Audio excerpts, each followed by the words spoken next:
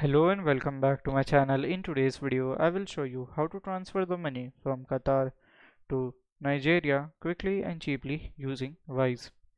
So in order to transfer the money from Qatar to Niger, you should must use a Wise account. If you don't have a Wise account, you can create one for easily and for free in order to send money. Just click on the send button and then you have to click on here a single payment option so here you have to put USD and in here you have to put as Nigerian Naira. And here we have to put the amount. So here I'm just transferring like $25 just click on here and you can select the payment method too. Then you have to click on continue.